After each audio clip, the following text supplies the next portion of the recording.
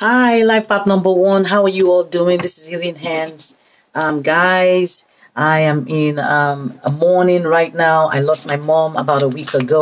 I wasn't going to do your monthly readings. I wasn't going to do anybody's monthly readings, not for the zodiac signs, not for, you know, um, the life path numbers. But I kept hearing spirit tell me life, life goes on. And I'm like, okay, life goes on does it even matter what's going on in my life? Like i'm emotionally down i guess um, because i was trying to fight you know this physical aspect of us being human.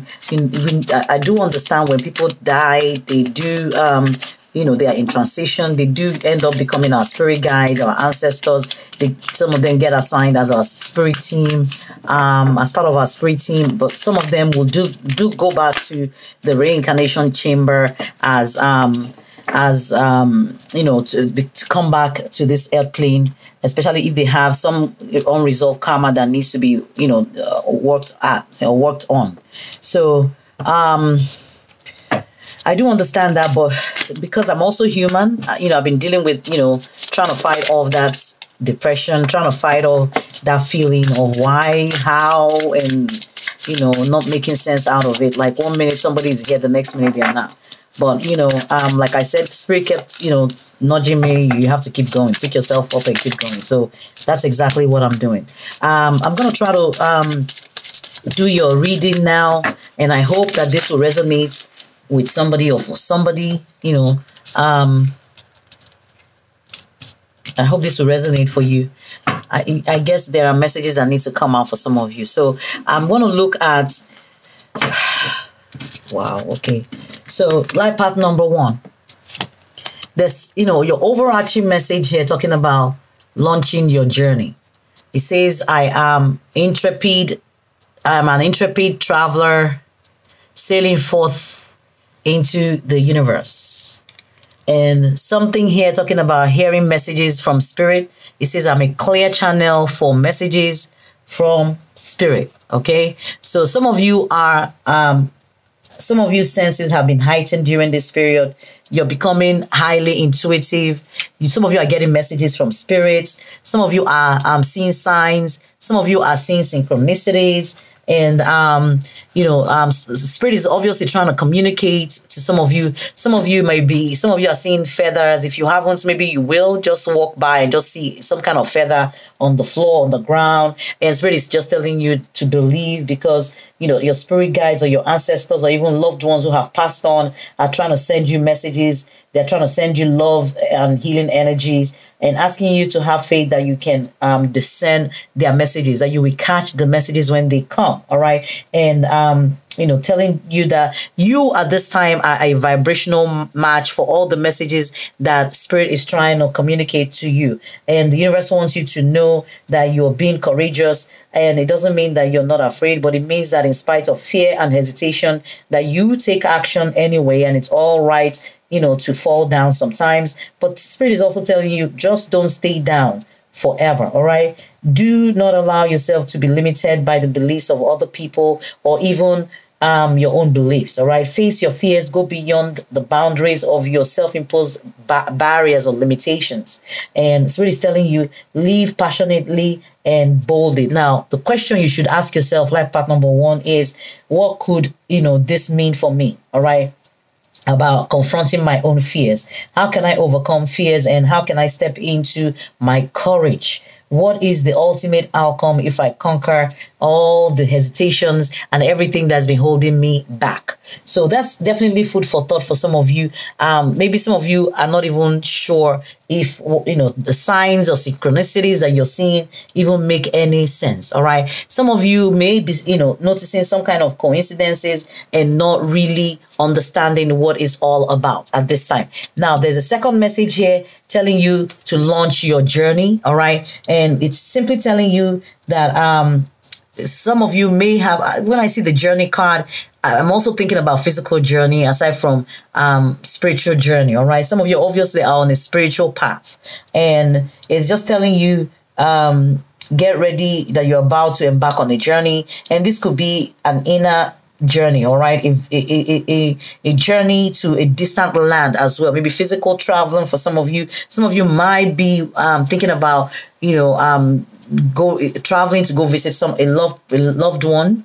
All right. Now I'm getting also some somebody may have lost somebody and uh, maybe going to visit somebody who's lost somebody because we got that energy about um, you know, messages from your loved ones. All right. Um, so some of you may feel the need to travel at this time because your your bags, you know, are, can be packed easily, and um, um, some of you feel like you need to be with somebody. You need to, you know, um, be there for somebody. But whatever the case may be, it's like launching your journey. Okay. This can also be the universe telling you, um, you know, asking you where is it that you've always wanted to be or wanted to go, and what have you always wanted to do, all right? And telling you this is the time to make it happen for yourself, asking you to launch yourself forward and explore that world around you, uh, and telling you before any journey, whether it's inner or your outward journey, it's, it's good for you to take time to prepare for the adventure and um, for you to understand where you are and where you want to go in your life journey. Okay,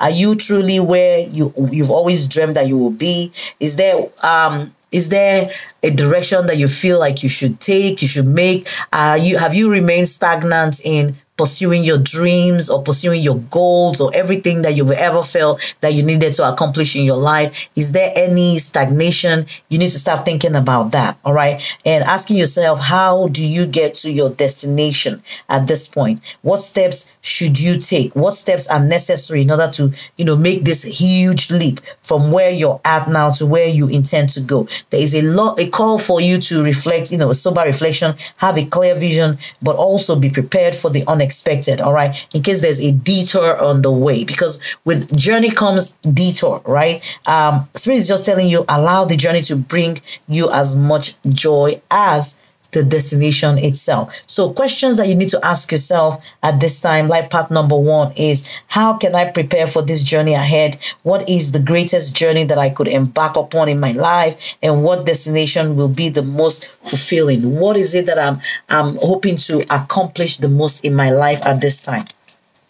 And start, you know, aligning yourself. So it looks like there has to be some sort of self reflection that is needed at this time with regards to your life purpose, your life journey. Are you aligning yourself with your dreams, your goals? Are you working towards your goals? Are you really um, taking all the necessary steps towards aligning yourself with where you need to be? If you're not, Spirit is just asking you to rethink and realign yourself. Okay, get back on track. Okay, now let's see the feelings. I'm trying to pick this energy is the mixed emotions for how you're truly deeply feeling about a particular situation in your life at the moment. It could be a love situation, a love triangle. It could be a relationship, situationship, work situation, friendship. It doesn't matter what it is. It could be family dynamic. But this is me trying to pick up the those deep hidden shadow energy that you, you're not sharing with anybody. Those subconscious energy that you or the people or the person that you're dealing with may be exuding at this time. Now, life path number one, only you will know which of these feelings is yours and which is not. All right. So anyone that is not yours is the energy of the person or the people that you are dealing with. All right.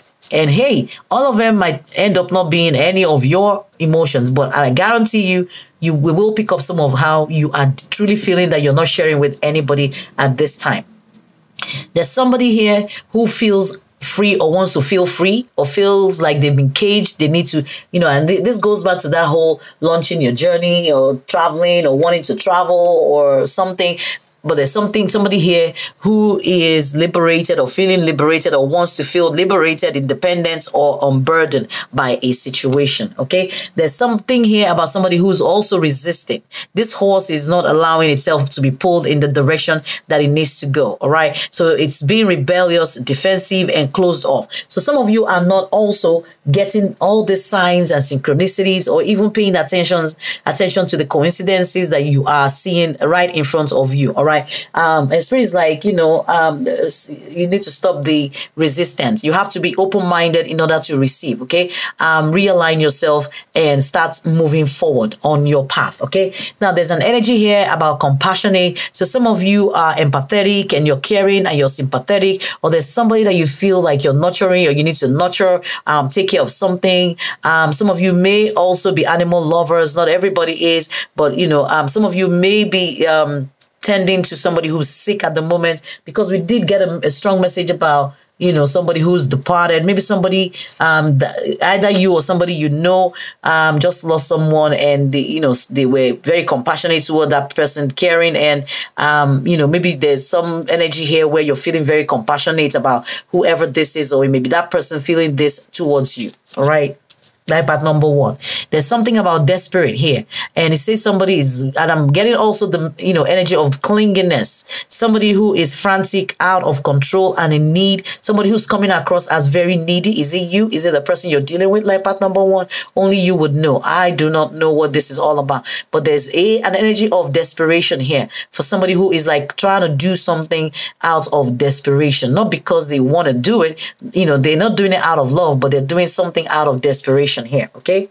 Making decisions out of desperation. There's also an energy of somebody who is disappointed in somebody or disappointed in something or, you know, thinking about letting something go or has let something go or will be letting something go. And, you know, it's a feeling of disillusionment, uh, feeling of defeat and somebody letting someone down here is something about you know someone who wants to be feel peaceful in their energy who wants serenity. And it comes it bears to mind also the energy about you know traveling and going away. And you know somebody looks like maybe they also want to be centered all right? Need to be centered or work on their um, sanity. And looking for a place of peace. Or it might be you or the person you're dealing with who is actually feeling very peaceful. Maybe there's a situation that you've you know let go of or that you removed yourself from. And you know because you're no longer in this energy um of desperation all right? You're no longer fighting or resisting whatever this is.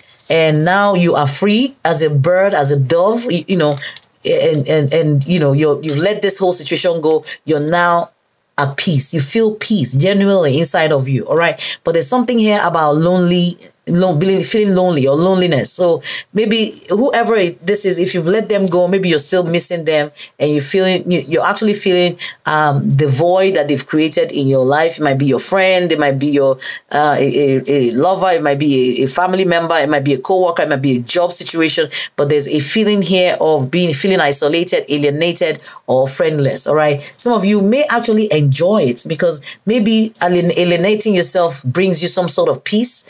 Um, Um, so whatever this case may be, just it's a, a, feeling that you know the energy that we're picking up here. Someone is also feeling like you know the, the pressure cooker, like they are stressed out, like they're about to blow the lid. I just finished doing the reading for life path number I think seven, and they got the pressure cooker and about somebody about to blow off the lid or something. All right, and we're getting that energy also here about somebody who's stressed, maybe stressed from you know responsibilities, maybe bills, maybe from day to day, you know things happening, or maybe somebody in your energy who is just stressing you the f out. Okay, but it's a, a um a feeling if a feeling of you know tenseness or feeling strained or like you're under pressure. Okay some someone here also is feeling uh, panicky about something. There's a situation that somebody is panicking about.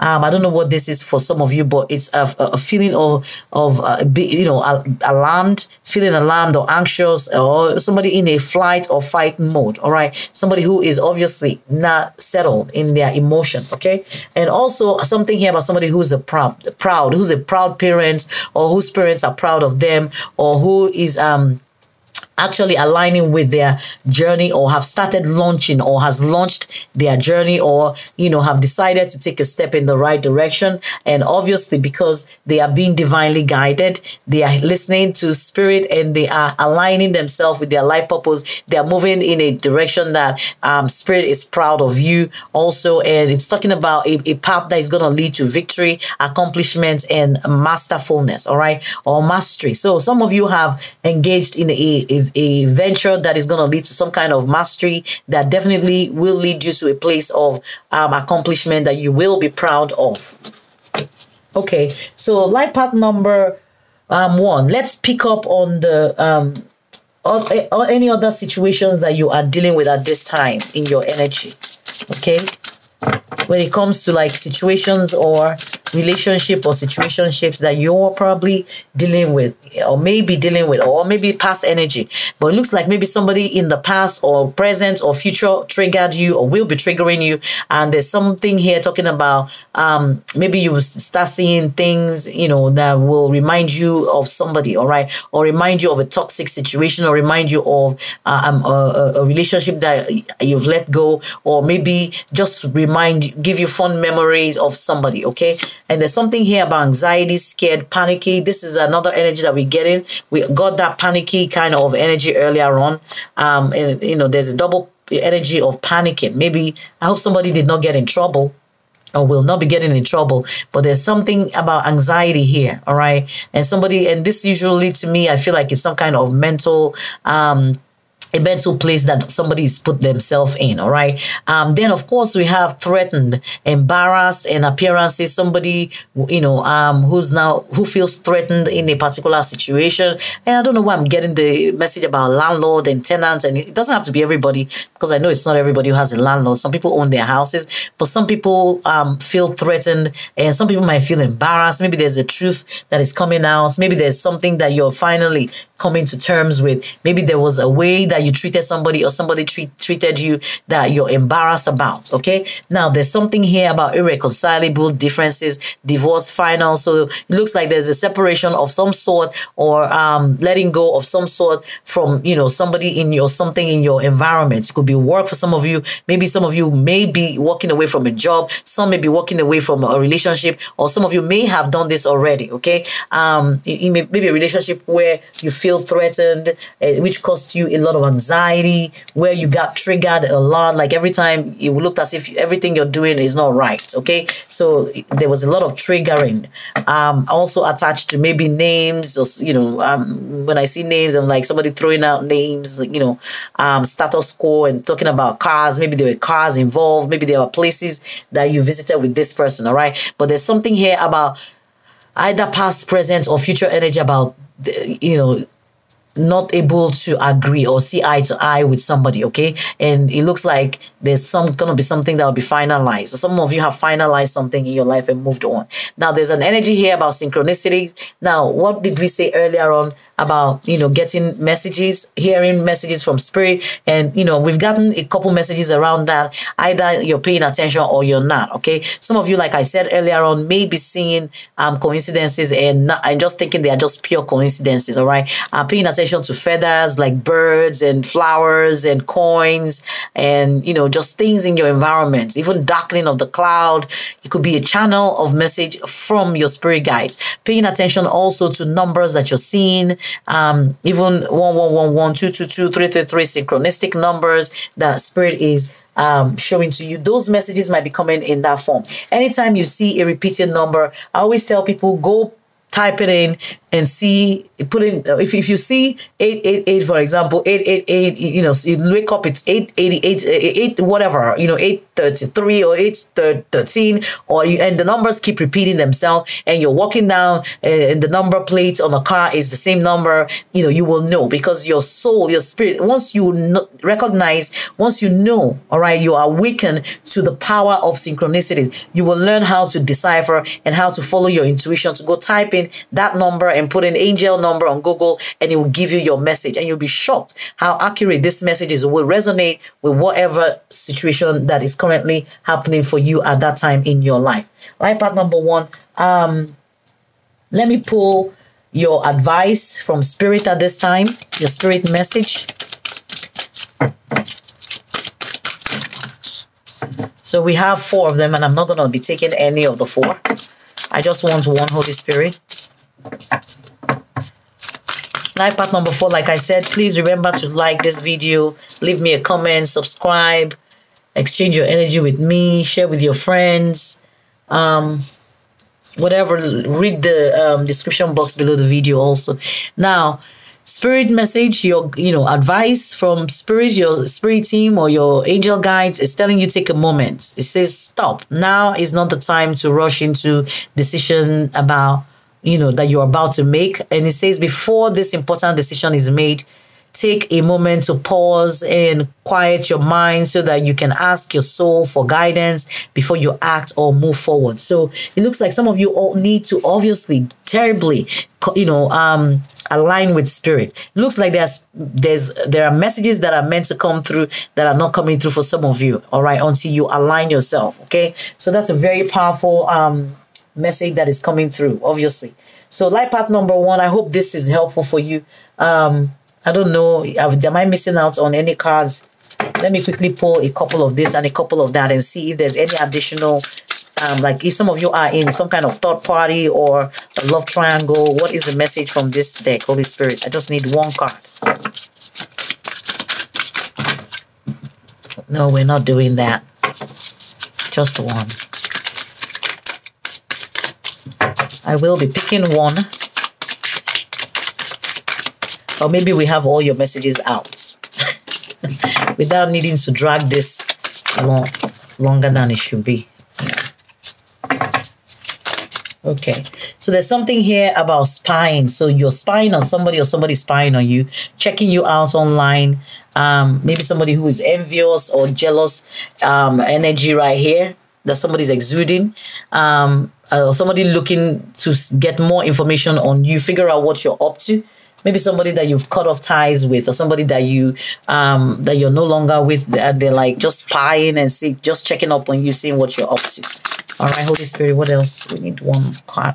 There's something here about not in this lifetime. So there's somebody that um your relationship with them is not going to be in this lifetime because they are still operating in a very low vibe um which is not in alignment with your own energy. And it says they are your true they are your true twin but but sadly there is a possibility that you won't end up together in this lifetime due to circumstances outside of your control. So i feel like some of you had questions which is why um they wanted me to pull you know, this additional cards, even though I was done with, with yours reading, life path number one. All right. I hope this makes sense for you guys. Um, until next time, please, life path number one, stay safe out there. And I wish everybody love and light. This is Healing Hands. Until next time, bye bye, guys.